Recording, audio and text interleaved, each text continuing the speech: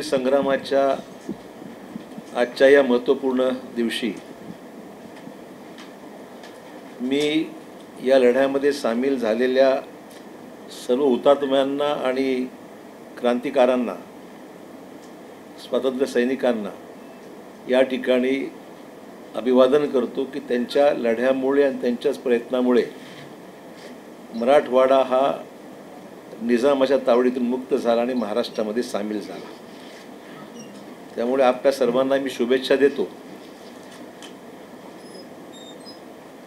आजची ही पत्रकार परिषद प्रामुख्याने मराठा आरक्षणासंदर्भामध्ये असलेली सद्यस्थितीवर आपल्या माध्यमातून लोकांपर्यंत अद्ययावत माहिती जावी या अनुषंगाने हा वार्तालापाचा कार्यक्रम या ठिकाणी घेण्याचा मी प्रयत्न केलेला आहे.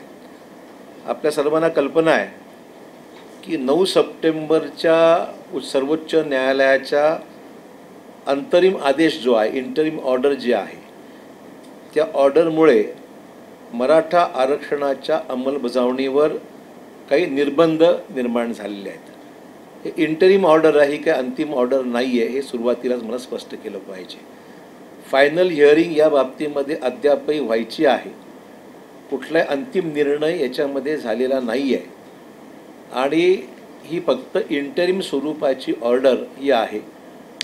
सर्व विषय मराठा आरक्षणासंदर्भातला सगळा विषय हा सर्वोच्च न्यायालयाच्या घटनापीठाकडे सोपवण्याचा निर्णय या तीन जजेसच्या बेंचनी घेतलेला आहे. म्हणजे आता मॅटर शेवटी या निर्णयाला अंतिम स्वरूप देण्याची जबाबदारी ही घटनापीठाकडे म्हणजेच हा कॉन्स्टिट्युशनल बेंचकडे आता गेलेले. आहे. त्यामुळे याच्यामध्ये अंतिम निर्णय काही झालेला नाही.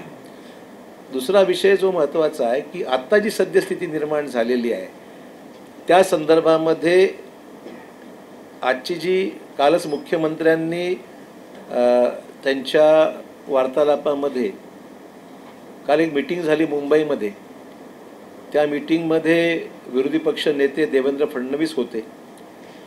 त्याचबरोबर उपमुख्यमंत्री अजित पवार होते. मंत्रिमंडळातील अन्य सदस्य ज्या उपसमितीचे सदस्य आहेत तेही त्या ठिकाणी होते. आणि विनायकराव मेटे त्याच्यामध्ये होते. वरच्या सभागृहाचे श्री दरेकर विरोधी पक्ष तेही त्याच्यामध्ये होते. आणि मुख्यमंत्र्यांनी काल या सर्वांना विश्वासात घेऊन या बाबतीमध्ये पुढील काय करणं गरजेचं आहे काय केलं पाहिजे या बाबतीमध्ये सखोल चर्चाही त्यांनी मुख्यमंत्र्यांनी काल केलेली आहे. त्याचबरोबर राज्याचे जे ॲडव्होकेट जनरल जे आहेत कुंभकोणी कारण राज्याचे माजी A G advocate general Shri Vijaysingh Thorat हे सुद्धा काल बैठकीला त्या ठिकाणी उपस्थित होते. त्या बैठकीमध्ये सर्वंकष चर्चा झाली. या संदर्भामध्ये पुढे नेमकी काय भूमिका घ्यायची या बाबतीमध्ये सर्वांचं मनोगत काल मुख्यमंत्र्यांनी डिटेल अतिशय स्पष्टपणे ऐकून घेतलेलं आहे. आणि मुख्यमंत्र्यांनी माध्यमांना हे सांगितलं की पुढील दोन ते तीन दिवसामध्ये मी या बाबतीमध्ये अधिकृत सुतोवाच अधिकृत भूमिका अधिकृत पुढची पावलं काय टाकणार या बाबतीमध्ये मी स्पष्टीकरण देणार आहे. विरोधी पक्ष नेत्यांनी सुद्धा काल सांगितलं की आम्हाला याच्यामध्ये कुठले राजकारण करायचं नाही. आम्ही मराठा आरक्षण टिकावं या मुद्द्यावर सरकारच्या बरोबर आहोत अशा प्रकारचं वक्तव्य काल विरोधी पक्ष नेते देवेंद्र फडणवीस यांनी सुद्धा कालच्या बैठकीमध्ये केलं माध्यमांना त्यांनी तेच सांगितलेलं आहे. त्यामुळे हा इथपतचा कालचा विषय हा इथपर्यंत गेलेला आहे. तर चर्चा डिटेल्स आली पण सारांशमध्ये ही एकंदरीत चर्चा ही काल झालेली आहे. त्याचबरोबर आपल्याला कल्पना आहे की विधिमंडळामध्ये ज्यावेळेस मागच्या सरकारने हा हे बिल जे आहे हा कायदा ज्यावेळेस करण्यासंदर्भामध्ये प्रस्ताव विधिमंडळात आणला तर सर्व प एक मताने हा विधिमंडळामध्ये पारित होऊन कायदा झाला. त्यामुळे याला कोणाचा विरोध होता असाही विषय नाही. किंबहुना याच्यामध्ये काही दुमत होतं असाही विषय नाही. हा एक मताने मराठा समाजाला आरक्षण द्यावं या हा निर्णय हा वि महाराष्ट्राच्या विधिमंडळामध्ये एकमताने पारित झाल्याचा मुद्दा मी आपल्या सर्वांना आठवण करू देऊ इच्छित आहे. आणि त्याचबरोबर या या निर्णय घेण्यामध्ये या कायद्याला संविधानिक दर्जा असलेल्या राज्य मागास आयोगाच्या शिफारसीसुद्धा बक्क ह्याच्यामध्ये कायदेशीर ह्याचा भक्कम आधारसुद्धा हे करण्यामागचा होता. त्यामुळे मागास आयोगाचा शिफारसी शासनाने केलेला कायदा आणि त्यावर मुंबई उच्च न्यायालयाने दीर्घ आणि सुना सखोल सुनावणीनंतर शिक्कामोर्तब केलेला आहे. म्हणजे हे सगळी प्रक्रिया मुंबई हायकोर्ट मागास आयोग आणि विधिमंडळ या सगळ्या प्रक्रियेमधून हा कायदा हा महाराष्ट्राने त्यावेळेस पारित केला होता. त्यानंतर ह्याला चॅलेंज करण्यात आलं आणि तो विषय सर्वोच्च न्यायालयामध्ये गेला. सर्वोच्च न्यायालयामध्ये मला मुद्दाम सांगितलं पाहिजे की सरकारच्या वतीने जी मागे टीम होती म्हणजे जे विधितज्ञ होते त्याच्यामध्ये सरकारच्या वतीने मुकुल रोहदगी वरिष्ठ विधितज्ञ आहेत परम परमजीत सिंग पटवालिया हे पण सिनियर काउन्सिल आहेत विजयसिंग थोरात हे विशेष अधिव अधिवक्ता आहेत. राहुल चिटणीस हे सरकारी वकील आहेत. सचिन पाटील म्हणजे जवळ जवळपास पाच काउन्सिल्स त्या ठिकाणी सरकारने लावले. आणि जे इंटरव्हिनर आहेत की ज्यांनी हस्तक्षेप याचिका याच्यामध्ये समर्थनार्थ दाखल केलेल्या आहेत. त्याच्यामध्ये कपिल सिब्बल त्यांच्या वतीने अपियर झाले. अभिषेक मनु सिंघवी त्याच्यावरून अपियर झाले. सी पी एस नरसिंह हे ते अपियर झाले. चंद्र चंद्र उदय सिंग अपियर झाले. रफिक दादा अपियर झाले. विजय नवरे अपियर झाले. देवदत्त कामत अपियर झाले. शिवाजी जाधव अपियर झाले. आणि सुधांशू चौधरी अपियर झाले. आणि त्यांना मदत करणारे Sanjay Kharde Patil advocate Sandeep Deshmukh advocate Dilip Taur advocate Amol Suryavanshi Prashant Kenjale Kailas Awtade Amol Karande Shriram Pingale Jio Joseph आणि स्नेहा अय्यर. साधारण ही एकोणीस लोकांची टीम आहे जे इंटरव्हेन्शन किंवा हस्तक्षेप याचिका ज्यांनी मराठा आरक्षणाच्या समर्थनात दाखल केलं आणि सरकारच्या वतीने पाच सिनियर काउन्सिल्स म्हणजे एकोणीस चोवीस लोक हे सरकारच्या वतीने किंवा या समर्थनार्थ अशी एकूण संख्या आहे. आणि याच्यामध्ये सरकारने अतिशय व्यवस्थितपणे आपली बाजू त्या ठिकाणी मांडली. हे आरक्षण कशामुळे आहे काय आहे सगळे त्याचे बॅकग्राऊंड आणि सरकारने सातत्याने बाजू मांडण्या तारखा लागायच्या अगोदर वेळोवेळी याच्या बैठका घेतल्या. व्हिडिओ कॉन्फरन्सिंगच्या माध्यमातून ज्या महाराष्ट्रातील विविध मराठा संघटना आहेत त्यांच्याशी चर्चा केली. मुख्यमंत्री स्वतः सहभागी या सगळ्या चर्चेमध्ये झाले. त्यांनीसुद्धा मार्गदर्शन केलं. आणि सिनियर काउन्सिल्सच्या या सगळ्या चर्चेनंतरच हा विषय शेवटी सुप्रीम कोर्टाच्या आर्ग्युमेंटसमोर हा विषय गेलेला आहे. मला मुद्दाम या ठिकाणी नमूद करायचं आहे. त्यामुळे हे जे काही झालेलं आहे याची पार्श्वभूमी फक्त या सांगितली की सरकारकडून कुठलाही त्याच्यामध्ये कमतरता ठेवण्यात आलेली नाही. सर्वच त्याच्यामध्ये प्रमुख विधितज्ञांना एकत्रित घेऊन आणि विश्वासात इतरांना घेऊन हा सगळा विषय मार्गी लावलेला आहे. त्यामुळे आज नांदेडमध्ये अखिल भारतीय छावा संघटनेने काही ठिकाणी निदर्शनं केली. म्हणजे माझ्या घराच्या त्या कॉलनीच्या आवारा भागामध्ये निदर्शनं केली. खरं म्हणजे आम्ही त्यांच्याशी चर्चा करायला मी तयारच होतो. मी म्हटलं बुवा ठीक आहे झेंडा आज ह्याचा दिवस आहे आपला मुक्ती संग्रामाचा. झेंडावंदन झाल्यानंतर मी तुम्हाला भेटतो आणि तुमचं काय म्हणणं असेल ते मी ऐकायला तयार आहे.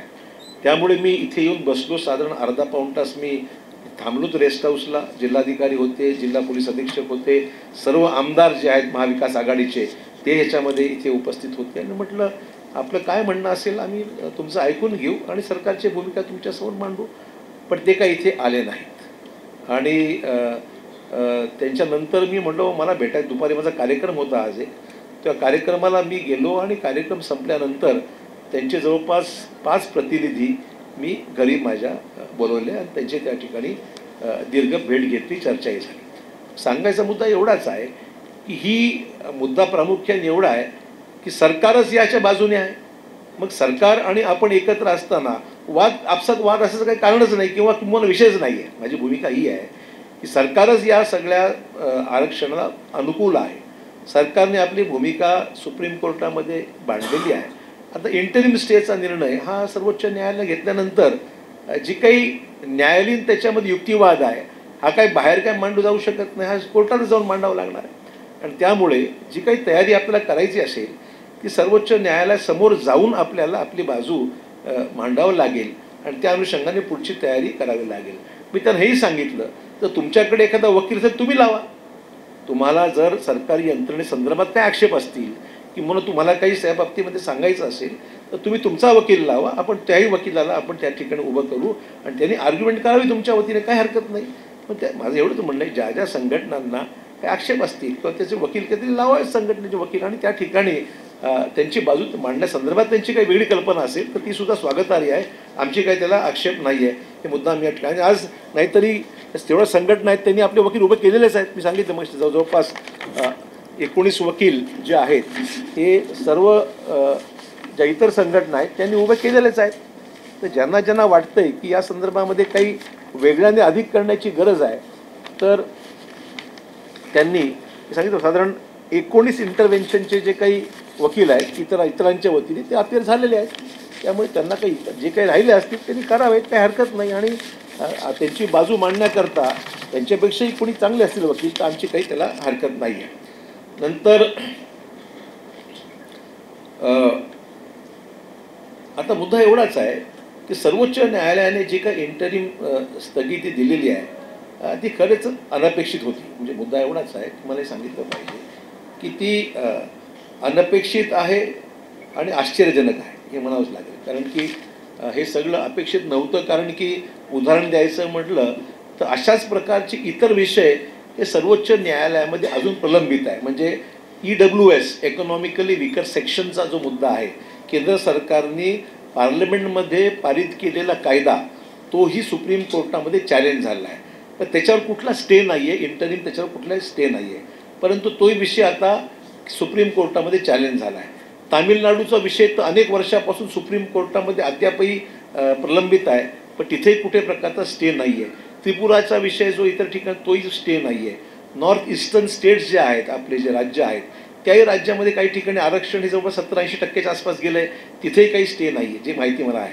त्यामुळे हे युक्तिवादसुद्धा करण्यात आलेले आहेत की बाबा कुठेच इकडे ठिकाणी स्टे नाही आहे फक्त याच प्रकरणामध्ये जो स्टे आलेला आहे तो म्हणून म्हणतो की थोडासा आश्चर्यजनक आहे आणि अनपेक्षित स्वरूपाचा अशा प्रकारचा निकाल आहे. पण शेवटी सर्वोच्च न्यायालय आहे ते. त्याच्यामुळे मला त्या निकालासंदर्भामध्ये काही वेगळी टिप्पणी याच्यात काही अजिबात करायची नाही आहे फक्त निदर्शन आणायचं की इतर ठिकाणी मात्र कुठलंही हे नाही आहे त्यामुळे ही आत विद्यमान परिस्थिती अशी आहे. काल जी चर्चा झाली काल जी चर्चा झाली ती सु सुरुवातीला जे न्यायालयीन प्रकरणं आहेत त्याच्यामध्ये तीन पर्याय सरकारसमोर आहेत. एक तर ऑर्डिनन्स काढण्याच्या बाबतीमध्ये काही लोकांनी काही मान्यवरांनी सूचना याच्या अगोदर केलेल्या आहेत. ऑर्डिनन्स काढायचा का? दुसरा विषय जो होता तो आहे त्याच बेंच पुढे त्या तीन जजेसच्या बेंचनी जो निर्णय इंटरिम स्टे दिलेला आहे त्यासमोरच जाऊन रिकॉल ॲप्लिकेशन किंवा रिव्ह्यू पिटिशन ज्याला म्हणू ते दाखल त्यांच्यासमोर करायचं का? तिसरा पर्याय जो आहे तो आपल्याला घटनापीठाकडे जाऊन हा इंटरिम स्टे वेकेट करण्याच्या बाबतीमध्ये काय करता येईल का? असे तीन पर्याय त्याच्यामध्ये काल विरोधी पक्ष नेत्यांना सुद्धा हे एजींनी आणि इतर वकिलांनी सांगितले. दोन तीन पर्याय आहेत. परंतु त्यातला पर्याय हा कुठला सोयीचा आहे? या बाबतीमध्ये आता मी यास अधिक यासाठी सांगू शकत नाही कारण मुख्यमंत्र्यांना या संदर्भामध्ये हे दोन दिवसात पत्रकार परिषद मुख्यमंत्री घेणार आहे त्यामुळे अधिक मी भाष्य करणार आहे. परंतु हे दोन तीन पर्याय आहेत. त्यापैकी कुठला पर्याय सर्वोच्च न्यायालय टिकणारा आहे?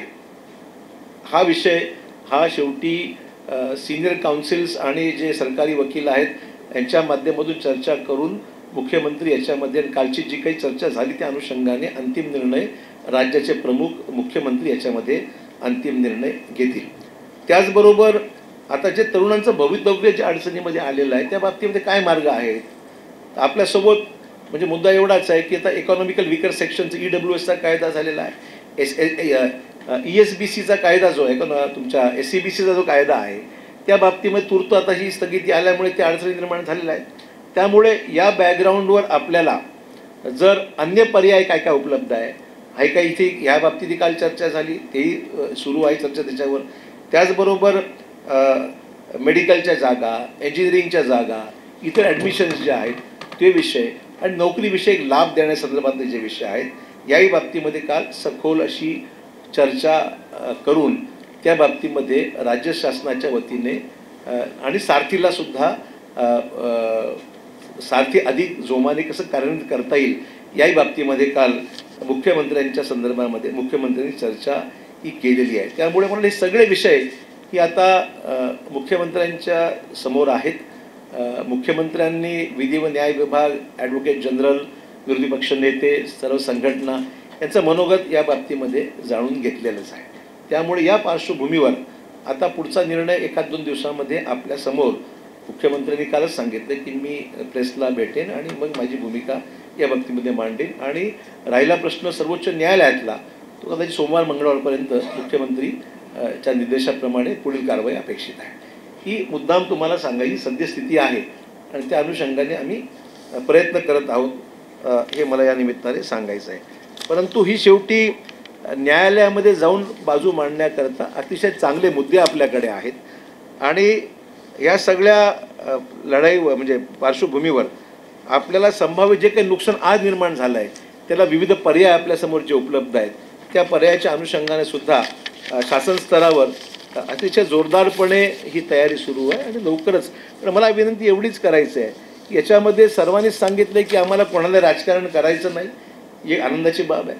सर्वपक्षीय नेत्यांनी समर्थन या विषयासंदर्भात देण्याची भूमिका घेतलेली आहे ही आम्हाला मला आनंदाची बाब आहे. ज्या काही संघटना या व्ही सीमध्ये सामील झाल्या होत्या त्यांनी सांगितलं की बाबा याच्यामध्ये सर्वांची भूमिका एकच असल्यामुळे ती व्यवस्थितपणे हाताळली गेली पाहिजे. ते आम्ही हाताळत आहोत की ज्या अनुषंगाने आणि स्वतः राज्याचे मुख्यमंत्री हे स्वतः याच्यामध्ये लक्ष घालत आहेत. त्यामुळे हा सगळा विषय समन्वयातून आपल्याला यश कसं मिळू शकतं हा आम्ही पाहण्याचा आमचा प्रयत्न करत आहोत. हा प्रश्न एवढा एवढ्यापुरती मला फक्त आपल्याला या आरक्षणासंदर्भामध्ये हा विषय मांडायचा होता. या बाबतीत तुम्हाला काही विचारायचं असेल तर जरूर विचारा.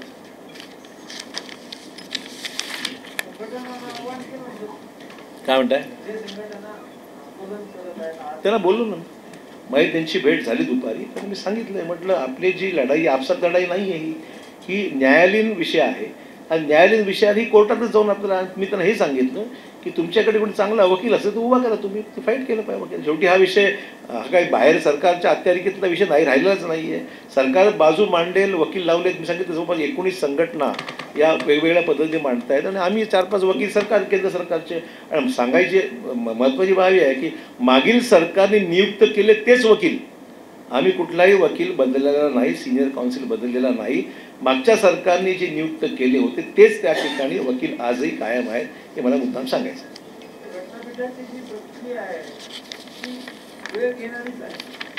नाही तुमची माहिती जरा चुकीची आहे कारण की घटनापीठ हे चीफ जस्टिसकडे जाऊन तो अर्ज करावा लागतो आणि पहिला जो विषय राहील हा केवळ हा इंटरिम आदेश वेकेट करण्यासंदर्भातला विषय मर्यादित राहील. त्या विषयाचा आणि या मराठा आरक्षणाची जी काही अंतिम विषय आहे तो नंतरचा विषय आज फक्त जो तातडीचा विषय आहे तो इंटरिम स्टे वेकेट करण्यासंदर्भातला आहे. आणि त्या बाबतीमध्ये जाऊन चीफ जस्टिस समोर भूमिका मांडावं लागेल.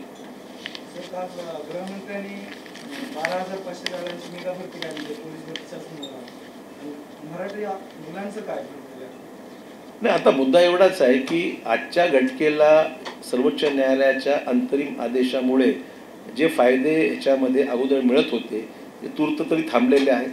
आता याच्यावर मार्ग काढण्यासंदर्भामध्ये किंवा आता हे लोकांच्या भावना लक्षात घेऊन आम्ही हा विषय कदाचित पुढच्या माकडा काल संध्याकाळचाच विषय मी नव्हतो काल झेंडावंदनासाठी या ठिकाणी यावं लागलं आणि त्याच्यामुळे मला काही संवाद साधता आला नाही परंतु म्हणून अन्य सहकारीसुद्धा मुख्यमंत्र्यांना या बाबतीमध्ये नेमकं काय करायचं ही चर्चा करतील. सर पण आता ह्या अंतरिम आदेशामुळे जे आहे मराठा समाजातील विद्यार्थी असतील किंवा नोकरीमध्ये असतील यांचा याचं सर्वांचं अचानक असं तात्काळ नुकसान झालेलं आहे. या बाबतीत सरकार काय विचार करते? तेच सांगितलं तुम्हाला काल चर्चा झाली आहे याच्या विचारविनिमय झालेला आहे. आणि दोन दिवसामध्ये मुख्यमंत्री प्रेसला स- त्यांची भूमिका शासनाची भूमिका ही स्पष्ट करतील. सर मोदी सरकार का देखे करता सुप्रीम कोर्ट कहीं ना कहीं गवर्नमेंट के सपोर्ट वाले डिसीजन दे रही. है इश्यूज देखे बातें ये मैटर में चूँकि मोदी सरकार चाह रही थी, महाराष्ट्र की सरकार में मतलब डिस्टर्ब पैदा किया जाए गवर्नमेंट बदलने की कोशिश की नहीं रुक सके।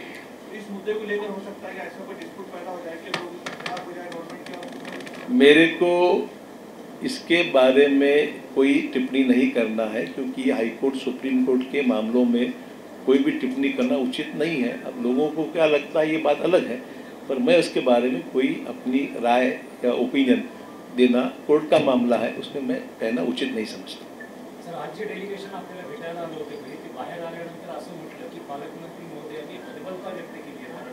ते. सांगतो ना म्हणून सांगतो ना मी काय बोललो तुम्ही सांगतो. त्यांचं तरी ऐका किंवा माझं तरी ऐका तुम्ही बी? त्यांचा दावा आहे? म्हणजे माझं प्रत्यक्ष जे आहे ते सांगितलं मला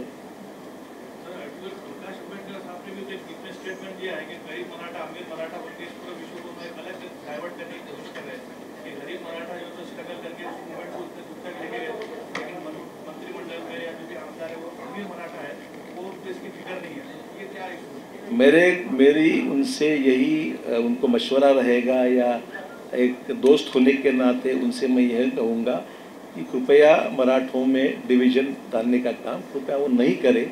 ऐसी मेरी अपेक्षा उनसे है। विनती है रिक्वेस्ट है। नाही ही ही ही कृपया हा अशा प्रकारचा अ, चुकीचा संदेश देणं बरोबर नाही आहे कारण की मराठा आरक्षण हे अँड अबाव ओबीसींना जे आरक्षण आहे त्याला हात न लावता त्याला धक्का न लावता अँड अबाव राहावं अशी शासनाची भूमिका आणि निर्णय घेत असताना ते अँड अबाव आहे. ओबीसीच्या आरक्षणामध्ये कुठेही बदल करण्यात आलेला नाही.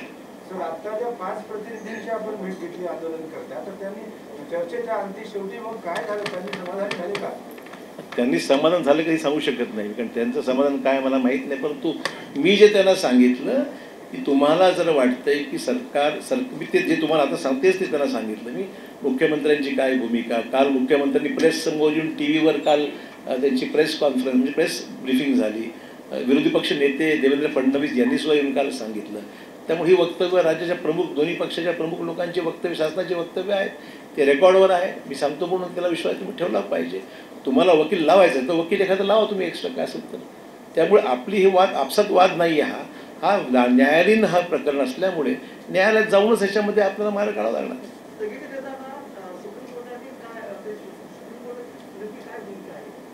सुप्रीम कोर्टाची? किस वजह से ने फिफ्टी परसेंट के ऊपर आरक्षण जा रहा है। इस मुद्दे पे उन्होंने इसके ऊपर स्थगिति दी है, जैसे अन्य राज्यों में है।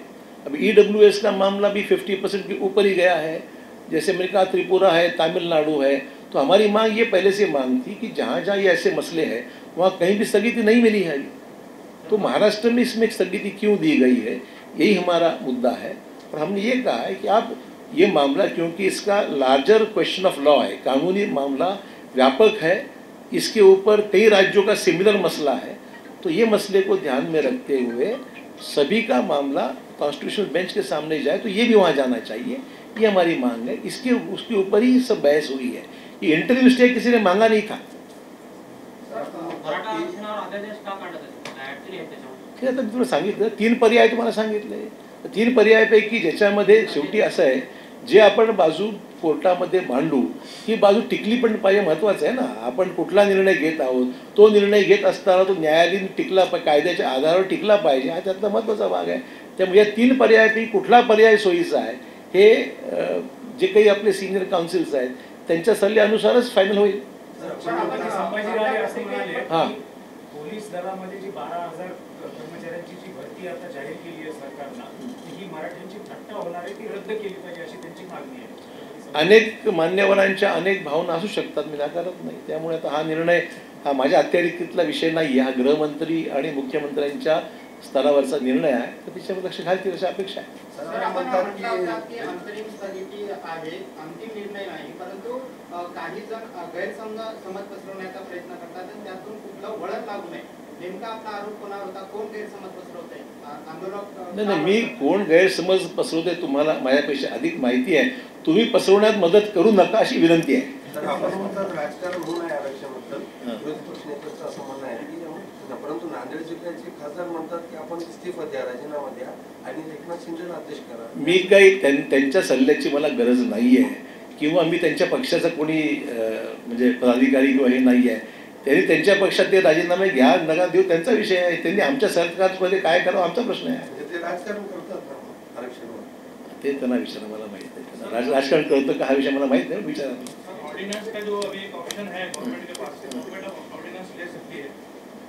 दूसरा मसला मुस्लिम रिजर्वेशन को लेकर था कांग्रेस के मैनिफेस्टो में भी है और कॉमन मिनिमम हाँ, है तो अगर ऑर्डिनेंस आता है तो पैरेलल ऐसा भी है कि मुस्लिम आरक्षण जिससे पहले जैसा हुआ क्या वैसा हो सकता है? या मुस्लिम आरक्षण देखिए मैं कोई कानूनी एक्सपर्ट नहीं हूँ कि इसके ऊपर मैं इमीडिएट कुछ जवाब दे सकूँ। जो हमारी कमिटमेंट तो है जो है उसमें हमने कभी मना नहीं किया।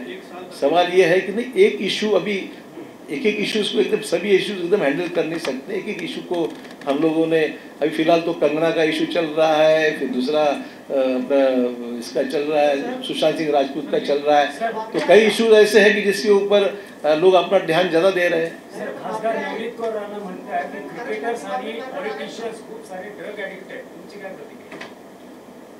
त्यांना अधिक माहिती असेल मला काही संबंध अशा लोकांशी आलेला नाही. ज्यांना संबंध आला असेल त्यांना माहीत असेल बघ कुठे काय म्हणजे मला काही माहीत नाही.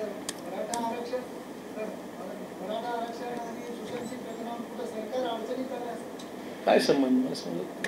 सरकार अडचणीचं कारण काय? सरकारचा विषयच नाही ना. असे सुशांत सिंग राजपूतांचा हा जो विषय तो सीबीआयच्या अंडर इन्व्हेस्टिगेशन आहे. जे निघेल ते निघेल त्याच्यामध्ये जे सत्य असेल ते. आणि कंगनांचा विषय महा मुंबई महापालिकेचा आहे. त्याचा आणि सरकारचा संबंध काय? माझा विश्वासचा प्रश्न कुठे आहे? सीबीआय एक इन्स्टिट्यूशन आहे. आणि सर्वोच्च न्यायालय याच्यामध्ये काय काय ताशेरे उडले सर्व माहिती असते मला याच्यात काय अधिक आज बोलण्याची आवश्यकता असं वाटत नाही तो ऑर्डिनेंस निकलता है तो फिर उसमें पैरेलल निकलेगा नहीं क्या? काय बरं ऑर्डिनेंस क्या हो रहा है हा सारथी संस्थेचं कामकाज ठप्प नाही आहे सारथी संस्थेची जे काही डिपार्टमेंट होतं ते विजय वरट्टीवार यांच्याकडे दिलेलं होतं. परंतु मराठा समाजातील काही लोकांनी आक्षेप घेतला की वरट्टीवारांकडे नको. आणि म्हणून तो विषय तूर्त मुख्यमंत्र्यांनी याच्यामध्ये फायनल निर्णय घ्यायचा आहे की हे कोणाकडे सोपवायचं आहे? पण संस्थेवर जे आहेत निंबाळकर त्याचे प्रमुख आहेत आपले रिटायर्ड चीफ सेक्रेटरी बाकीचे त्याचे अधिकारी नेमले की काम सुरू आहे. त्याला आर्थिक तरतूद वाढून द्या ही महत्त्वाची मागणी आहे. तोही विषय मुख्यमंत्र्यांच्या कदाचित डिस्कशनमध्ये येईल आपल्यासमोर सारथी संस्थेच्या कामकाजाविषयी कुठलाही बदल किंवा कुठले काम बंद करण्यात आलेलं नाही. सारथी संस्था अधिक बळकट कशी करता येईल हाच प्रयत्न विद्यमान सरकारचा आहे. सर काही मराठा सर काही मराठा संघटना काही पक्ष आहेत ज्यांची मागणी आहे सतत सातत्याने आलेली की मंत्रिमंडळ समितीचे उपाध्यक्ष जे आहेत अध्यक्ष जे आहेत तर त्यांना ज्या समितीवरून हटवा याच्यासाठी काय सांगू इच्छिता? आता मला नियुक्त करणं आणि ठरवावं ना. मला नियुक्त मंत्रिमंडळाने केलेला आहे. आता मंत्रिमंडळ निर्णय म्हटलं म्हणाले की मी सुरू ठेवा तर सुरू ठेवते. म्हटलं थांबा तर थांबू. विनायक मेटे कुठल्या पक्षात आहेत?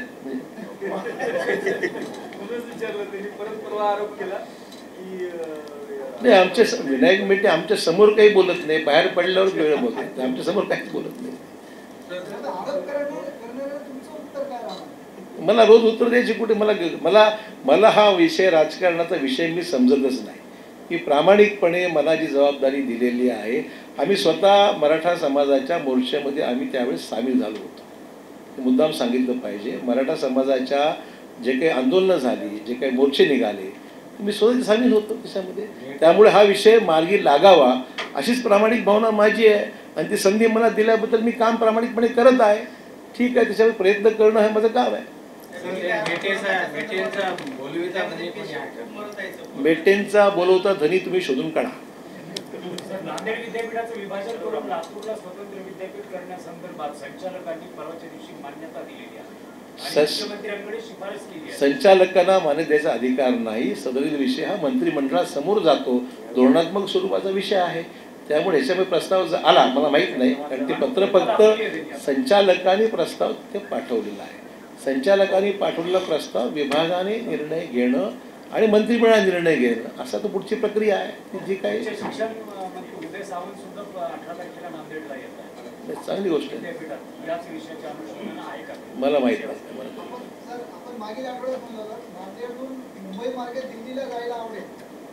हा म्हणजे विमान आहे ना मुंबईला जात आहे आणि तिथून दिलं जात आहे तर सोपं पडेल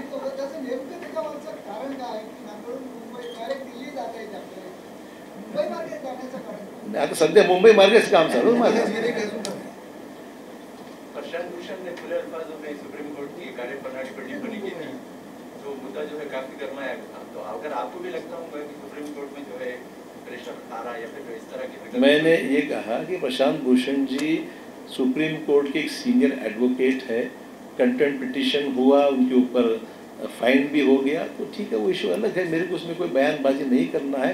हाईकोर्ट सुप्रीम कोर्ट के मामलों में कोई भी ओपिनियन बाहर व्यक्त करना उचित नहीं है ऐसी मेरी भूमिका है सर, दिल्ली राइट्स को लेकर जो अरेस्टिंग हो रही है तो पूरा कैसा पर्टिकुलर कम्युनिटी टारगेट करके किया किया जा रहा है देखिए अभी हर जगह इन्वेस्टिगेशंस में क्या निष्कर्ष निकलते हैं इस पर निर्भर करता है मैं कोई पर्टिकुलर केस में मुझे कोई डिटेल मालूम नहीं है जो कुछ दूसरे मुद्दे पे आते जरा अलग झाले इसमें बहुत हो रहा है हा ते त्या- त्याच मुद्द्यावर त्याच कोरोनाबाबत त्याच मुद्द्यावर त्याच मुद्द्यावर मी येतो आहे. मला हे विषय संपले तर पुढे जाऊ ना. आता तुम्ही तिकडेच पकडून बसलात मला हा आता आपण पुढच्या मुद्द्यावर जाऊया.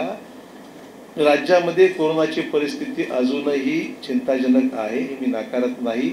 नांदेड जिल्ह्यामध्ये साधारण अकरा हजाराच्या पुढे आकडा आता गेलेला आहे. आणि परंतु ॲक्च्युली पेशंट्स जे आहेत अजून हॉस्पिटल तीन हजाराच्या आसपास. आज सकाळीच मी माहिती घेतली. साधारण आठ ते नऊ हजार पेशंट डिस्चार्ज झाले आहेत. दोन तीन हजार पेशंट्स काय एक्झॅक्ट आकडा माझ्यासमोर नाही. जिल्हाधिकाऱ्यांना बोलवतं का तिथे बाहेर कलेक्टर बसले एक एक मिनिट त्यामुळे आपल्याकडे किती? हां हा म्हणजे ते आतापर्यंत झालेले पेशंट्स डिस्चार्ज त्यातून वजा केले. म्हणजे जे बॅलन्स आहे ते साधारण तीन हजारच्या आसपास तीन हजारच्या आसपास आहे. ठीक आहे. तर माझं म्हणणं एवढंच आहे की साधारण जी संख्या आहे ती आहे ती सुद्धा निश्चितच काही फक्त डेथ रेट थोडासा कमी झाल्याचं मला जिल्हाधिकाऱ्यांनी सांगितलं. हा त्यातला एक भाग झाला. त्यामुळे नंतर दुसरे मुद्दे असे आहेत की ऑक्सिजनचा मध्यंतरी थोडा प्रॉब्लेम वाटत होता. परंतु तो ऑक्सिजनचा प्रॉब्लेम मध्यंतरी थोडासा निर्माण होईल असं वाटतं बस नको. बसा इकडे या. चेअर घ्या चेअर अजून एक दोन ओढा जरा. बसा बसा लहान बसा. अजून एक अजून एक खुर्ची घे तर ऑक्सिजनचा प्रश्न मध्यंतरीच्या काळात थोडासा निर्माण होण्याच्या मार्गावर होतं. ते झाल्यानंतर मी जिल्हाधिकारी संपर्कात राहिलो. राजेश टोपे यांच्याशी संवाद केला. नंतर जे सेक्रेटरी आहेत प्रदीप व्यास यांनाही बोललो. आणि व्यवस्था टा- टँकर्सचे प्रश्न निर्माण झाले होते. की ऑक्सिजनचं कन्झम्पशन आपल्याकडे वाढत चाललेलं आहे. कारण की पेशंट्स हीची संख्या वाढत असल्यामुळे ऑक्सिजन लावण्याची किंवा ऑक्सिजन इंटेक जो आहे तो वाढलेला आहे. त्यामुळे नॉर्मल सप्लायपेक्षा अधिक गरज वाजू लागलेली आहे. त्यामुळे आपण आता दोन तीन शासकीय गव्हर्मेंट मेडिकल कॉलेजमध्ये आणि सिव्हिल हॉस्पिटलमध्ये दोन मोठे टँक्स बसवलेले आहेत. आता सप्लायसुद्धा मत महत्त्वाचा महत्त्वाचं आहे. त्यामुळे सप्लाय दोन तीन कंपनीजकडून जिल्हाधिकारी किंवा सांगतील तुम्हाला काय काय झालेलं आहे ते. त्यामुळे सप्लाईज रेस्टोर आम्ही केलेला आहे. तीन चार दिवसात सप्लाय ॲडिशनल आपण ठेवतो आणि त्यांना मी सांगितलं आहे की वाट न पाहता किमान दोन ते तीन दिवस तरी सप्लाय आपल्या हातामध्ये राहील. एवढं आपण मार्जिन ठेवा. ऐनवेळेस धावपळ व्हायला नको. हा प्रश्न आहे. त्यात आज मी मेडिकल कॉलेजला चाललो आहे तिथेसुद्धा अधिक काय नवीन बेड्स आपण तिथे दिलेले आहेत. आज ऑक्सिजनयुक्त अशा बेड्स त्या ठिकाणी आपण करत आहोत. अधिक सोय आपण जेवढं लागेल तेवढं करत आणि अजून काय आज- अधिक करता येईल? नांदेडमध्ये आहे एक दोन तीन दिवस अजून मी मी उद्या परवा केव्हा तरी याची बैठक घेईल आणि यांना काय अधिक गरज आहे लक्ष देऊन त्याच्यावर पूर्ण लक्ष आम्ही केंद्रित केलेलं आहे. खासगी रुग्णालयाविषयी तक्रारी वाढत आहेत. खाजगी रुग्णालयाच्या ओव्हर चार्जिंगची काही विषय डोळ्यासमोर येऊ लागलेले आहे त्या सत्यता पठाळातूनच पाहावं लागेल त्याच्यामध्ये. आणि त्याच्यामध्ये रास्त ह्याच्यामध्ये किमतीमध्ये कमी ह्याच्यामध्ये किंवा रिझनेबल किमतीमध्ये काम व्हावं अशी अपेक्षा आहे. काय म्हणताय?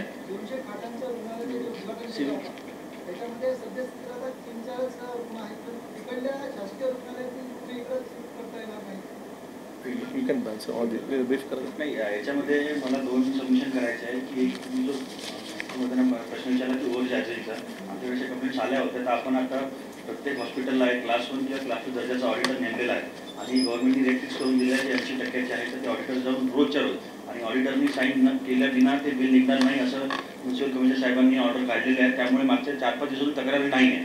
दुसरं आपलं म्हणणं आहे की सिव्हिलमध्ये जे दोनशे बेडचं अरेंजमेंट केलेली आहे सध्या तिथे वीस पंचवीस पेशंट ॲडमिट आहेत. आता आपण ते मंत्री मोदयांनी जे टँक आपण तिथे उभारलेला आहे त्याचं आपण दोन टँक उभारले आहे. एक नवीन जीएमसीएसला त्याचा आपल्याला टँक भरायची सुविधा झालेली आहे. परंतु हे जे सिव्हिलचं आहे सध्या टँक. टँक उभा झालेला आहे. परंतु जे लिक्विड. येणार आहे त्याचा टँकर यायचा आहे. ते आल्यावर आपण भरून मग फुल प्लेज आपण तिथं सुरू करू. सध्या आपण जम्बो सिलेंडरवर तिथं पेशंट मेंटेन करतो सध्या आपल्याकडे पंचवीस पेशंट आहे आणि आपण तिथे नाकारत नाही पेशंटला आपण ऍडमिट करतो तिकडे आता मी मी जे ऍडमिट झालो तेव्हा पाच लोक होतो आम्ही. आता त्याचं आपण सुरू केलं. कारण पहिले मी टेस्ट घेतला.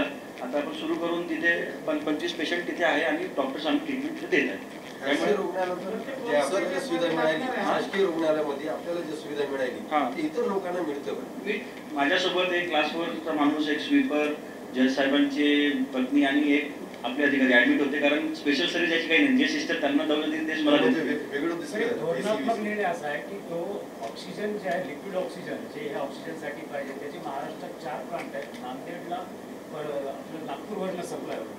कारण ट्रान्सपोर्टेशन आपल्याला नागपूरचं इझी जातं. तर त्यात असं आहे की ते जे लिक्विड ऑक्सिजन घेऊन येणारे टँकर आहेत त्या शासनाचे आदेश असे आहेत की नऊ तासापेक्षा जास्त त्याला ट्रॅव्हल करण्याची परमिशन नाही.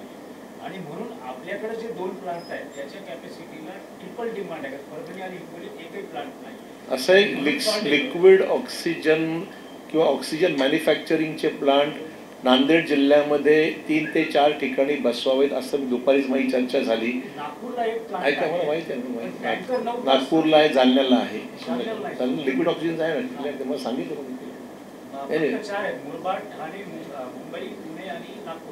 नाही, ठीक आहे. माझं काय एवढंच म्हणणं आहे की माझी जी माहिती आहे ती साधारण पन्नास लाखाच्या मध्ये त्याची कॉस्ट होईल. साधारण एक्झॅक्ट कॉस्ट मला माहीत नाही. परंतु ऑक्सिजन मॅन्युफॅक्चरिंग म्हणजे लिक्विड ऑक्सिजन च्या मार्फत सप्लाय उपलब्ध करून द्यावा. आणि मी कलेक्टरना म्हणून दुर्गम भाग जो आहे ज्या ठिकाणी अंतर जास्त आहे नांदेडपासून किनवट आपल्याला अंतर खूप पडतं. नांदेडपासून देगलूर आहे नांदेडपासून धर्माबाद आहे तिथे अंतर जास्त आहे. अशा ठिकाणी पहिली प्रायोरिटी द्या हा एक विषय होता. आणि नांदेड शहरामध्ये जर गरज असेल तर नांदेड शहराचा विचार करावा. कारण सप्लाय आपण म्हणल्याप्रमाणे आपल्याला पुण्याहून सप्लाय येतो आणि नागपूरहून पण नागपूरहून दोन ठिकाणून सप्लाय येतो.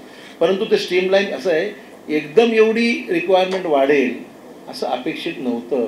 आता एकदम वाढल्यामुळे मध्यंतरी थोडीशी परिस्थिती जरा चिंतेची निर्माण झाली होती. परंतु त्याच्यावर आम्ही मार्ग काढला आहे सध्या तरी सप्लाय व्यवस्थित आहे. असं मला सांगण्यात आलेलं आहे. जर शासनाने जर त्यांना नऊ तासापेक्षा जास्त प्रवास करण्याची परवानगी दिली तर पंधरा टनचा एक लिटर दोन दोन ड्रायव्हर दोन शिफ्टमध्ये त्या नाही, ठिकाणी नऊ तासाच्या वर अलाउडच नाही सर. ड्रा- राज्य ड्रायव्हर आपलं म्हणणं बरोबर आहे रात्री नऊ नंतर त्यांना ट्रॅव्हल करायचे अलाउड नाही आहे. त्याच्यावर आता सरांनी बोललेले आहे डॉक्टर साहेबांची की पेसोची रूल आहे. पेशवाई सेंट्रल गव्हर्नमेंटची ऑर्गनायझेशन पेसोचे लायसन्सिंग देते. त्यांचंच म्हणणं आहे की नाही करायचं. त्यामुळे आता त्यांना रात्री पण अलाउड करायचं आणि जे ॲर्गॉनचे आणि नायट्रोजनचे टँकर आहेत त्याला ऑक्सिजनमध्ये कन्वर्ट करण्यासाठी पण प्रयत्नशील आहे. त्यामुळे आता आपल्याकडे ऑक्सिजन पाच पाच दिवसाचा आहे आणि आपला रेग्युलर टँक येत आहे आणि आपल्याला अजून एक टँक मुंबईवरून भेटल्यावर आपला अडचण दूर होणार त्यामुळे जे रूल आहे ते चालू आहे. एक रूल झाल्यावर रात्री पण ट्रॅव्हल करण्याचा सेफ्टीचे इश्यू असल्यामुळे ते अलाउड नाही. कारण रात्री काही झालं ॲक्सिडेंट झाला तर ते ऑक्सिजन इज हायली इन्फ्लेमेबल काही झालं तर आग लागून ते नुकसान होऊ शकते आणि जीवितहानी होऊ शकते. त्यामुळे ते पेशो अलाउड करत नाही. बोलणं चालू आहे.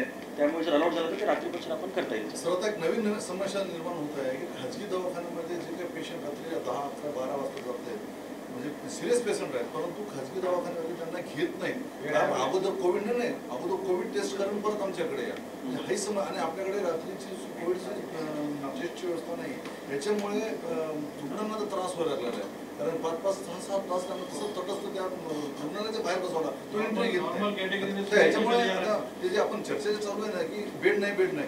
बेड आहेत. परंतु याच्यात त्यांनी काय सांगतात की तुम्ही कोविड आणा दोष याच्यामध्ये बेड नाही आपल्याला सरळ सांगणार आहे टेस्ट करून घ्या. मागे लागले मला कळालं की नेमकी भूमिका काय की त्याची टेस्ट करून मध्ये घेत नाही. त्याच्यामध्ये चोवीस तास टेस्टची व्यवस्था झाली सोल्युशन असं आहे की आपण जर एखादी पेशंट कोविड त्याचे टेस्ट नाही झालेली आहे पण त्याला त्रास आहे प्रत्येक हॉस्पिटलने त्याला ॲडमिट करून घ्यावं.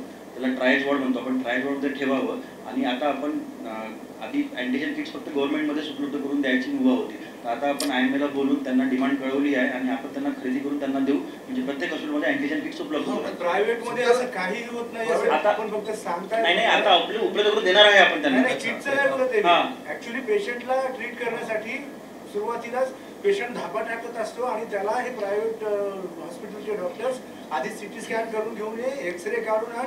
परवा एक पेशंट मेला सर बालाजी असं आहे छिद्रा रोज नवीन विषय समोर आहे. म्हणजे मी काय नाकारत नाही की होत नसेल असं म्हणून. नसल्यामुळे एक- एक- मिनिट ऐका. तर कोविड नॉन कोविड हा विषय आहे. ज्याला कोविड नाही त्याला घ्या. तो कोविड आहे की नाही कन्फर्म कसं करायचं? करायला अवधी लागतो काही जो टाईम लागतो. एखादा पेशंट आला फार शेवटी आला सिरियस आहे अर्जंट आहे असे अनेक विषय रोज समोर येतात. तर परिस्थिती जिल्हाधिकारी स्वतः लक्ष देत आहे. तिथे त्यांचा कोऑर्डिनेशनची टीम आहे. लक्ष देऊन ज्या ज्या ठिकाणी मदत करायची गरज मला साधा रात्री बारा मलाही फोन येतात की फोन जिल्हाधिकाऱ्यांना लावतो सिव्हिल लावतो. टेस्ट अधिकृत नाही का? आहेत ना मग अँटीजेन टेस्ट जर निगेटिव्ह आला असेल एखाद्या पेशंटचा तो पेशंट तो नातेवाईक त्याला तिथे घेऊन गेला असेल प्रायव्हेटला आणि प्रायव्हेटला मी- डॉक्टर म्हणतात की मी ही टेस्ट मानत असं नाहीये, आता तू आधी स्पेसिफिक. एक एक केस वाईज सांगणं कठीण आहे ऐकून घ्या. याच्यामध्ये याच्यामध्ये मदत कशी करता येईल आम्ही नक्की करू. मला रोज पाच दहा फोन आहेत जिल्हाधिकाऱ्यांना फोन आहेत आम्हा सर्व आमदारांना फोन येतात ज्यांचे ज्यांचे फोन मला येतात मी त्यांना सरळ कलेक्टरशी मी डायरेक्ट मी स्वतः बोलतो. ते मला रिप्लाय करतात ॲडमिट केलं आहे अमुक केलं. म्हणजे आमचे प्रयत्न हा रोजचा विषय आहे ना मी काय नाकारत नाही. का- अनेक हॉस्पिटल्समध्ये जागाच कमी पडते आहे फुल झालेलं आहे कोविड आहे नॉन सगळे खूप प्रश्न मी नाकारत नाही. रोजचे विषय नवीन आहेत. पण आहे त्या परिस्थितीला समोर जाऊन निर्णय घ्यावे लागतात. सुद्धा सांगतो. प्रशासनानं बेड बेड अवेलेबल आहेत असे प्रशासनानं घटल्यावर कारवाई व्हायला पाहिजे. तिकडं नाही म्हणून सांगतात. असं जर कोणी करत असेल हेतू पुरस्कर मुद्दाम खोटं असेल खोटं बोलून काही टाळत असतील तर नक्की आम्ही कारवाई करू. नोडल अधिकारी नेमलाय आपण त्यांनी त्यांना फोन करा. प्रायव्हेट रुग्णालय काय करतात माहिती आहे का? की 80% आमचा कोटा संपला.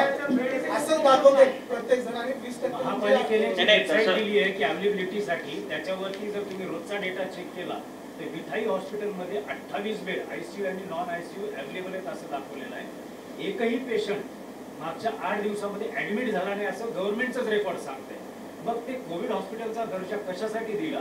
तिथे पेशंट चेक केले का नाही सरकारने? म्हणजे ऍडमिशन तिथे का नाही? त्याच्यामध्ये असं आहे की जे ऐंशी टक्के आणि वीस टक्क्यासाठी ते आपल्याकडे बेड अवेलेबिलिटी आहे.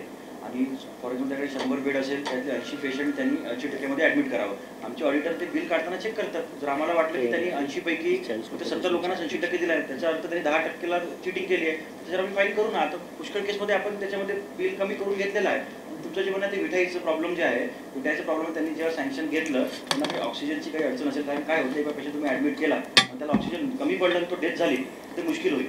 त्यामुळे ते प्रिकॉशननी आता त्यांचं आम्ही काल एफ डी एचे माणसं आपले निमसे आहे राठोड आहे त्यांना बोलून आपण सगळ्या टँकरवाल्यांशी आपण चर्चा केली. त्यांना आपण रोजचे सत्तर अशी सिलेंडर देत आहोत आणि प्रॉब्लेम सॉल्व्ह होईल. चला परवानगी मला दुसऱ्या पुढच्या कार्यक्रमाला जायचे जायच्या अगोदर सोशल डिस्टन्सिंग कायम ठेवून चहाची व्यवस्था बघायला पाहिजे.